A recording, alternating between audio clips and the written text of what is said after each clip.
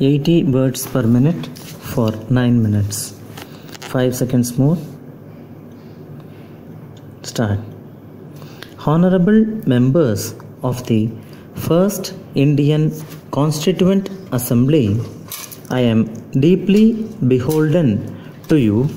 for your having agreed to accept me as the first president of your Constituent Assembly, which will enable me to assist you in transacting the preliminary business before the House, which will ultimately lead you to crown your labors by formulating a suitable and stable constitution for an independent India. I have had in my fairly long life several honors conferred on me in recognition of my services as a humble worker in public interest, but I assure you that I regard your mark of favor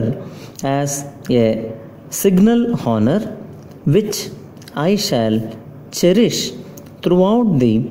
rest of my life. On this historic and memorable occasion, you will not grudge, I am sure, if I venture to address to you some observations on certain aspects of what is called a constituent assembly. This political method of devising a constitution for a country has not been known to our fellow subjects in Britain for the simple reason that under the British Constitution there is no such thing as a constituent law, it being a cherished privilege of the British Parliament as the sole sovereign authority to make and unmake all laws, including the constitutional law of the country. As such, we have to look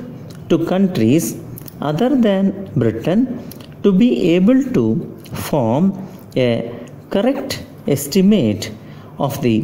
position of a constituent assembly. In Europe, the oldest republic,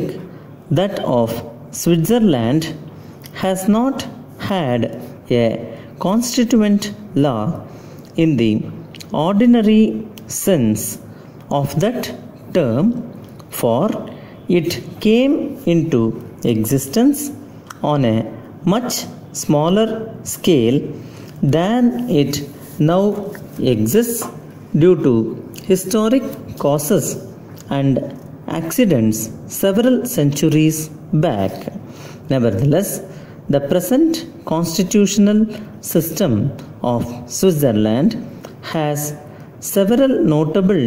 and instructive features which have strongly been recommended by qualified authorities to Indian constitution makers, and I have no doubt that this great assembly will study carefully the Swiss constitution and try to utilize it to the best advantage in the interest of preparing a suitable constitution for a free and independent India.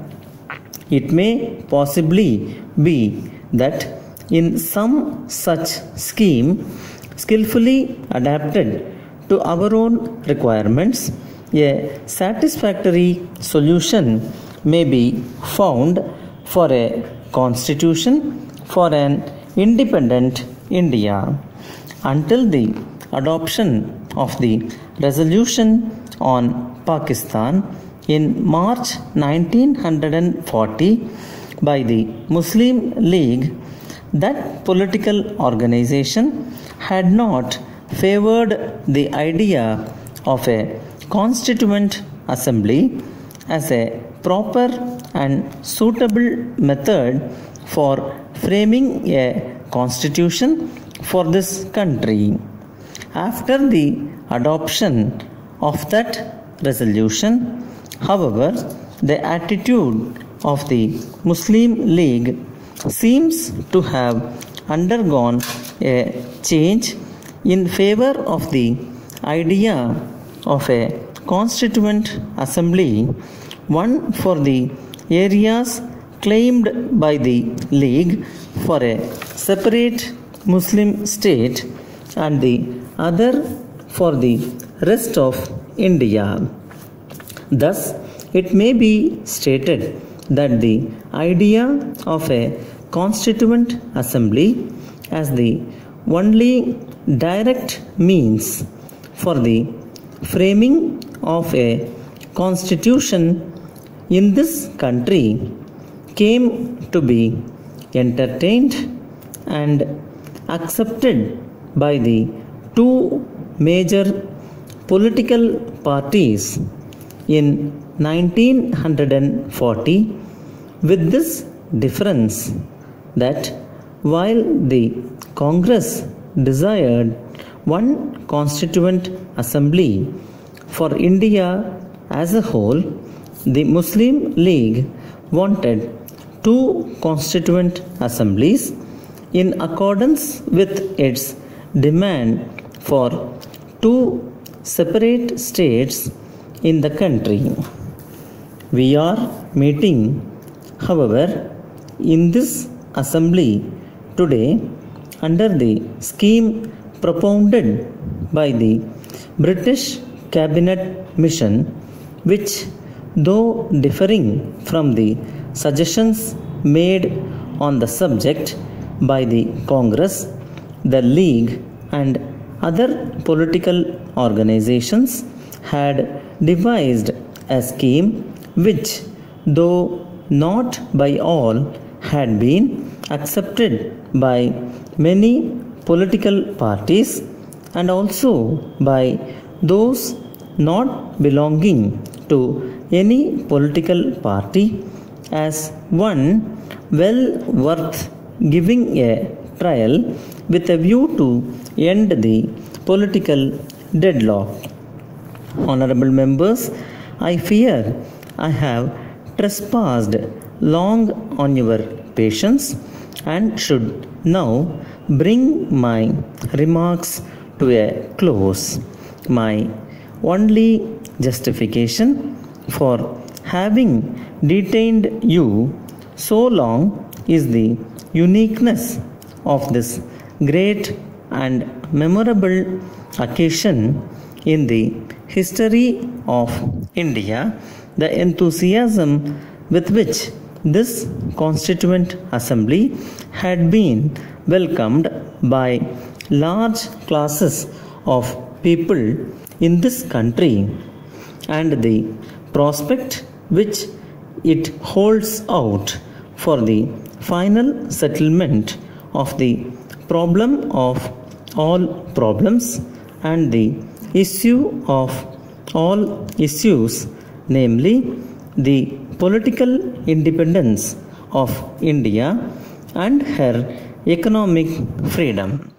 I wish your labors success and invoke divine blessings that your proceedings may be marked by good sense, public spirit, genuine patriotism, wisdom, toleration,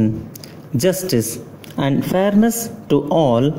and above all, with a vision which may restore India to her pristine glory and give her a place of honor and equality amongst the great nations of the world. Where there is no vision, the people perish.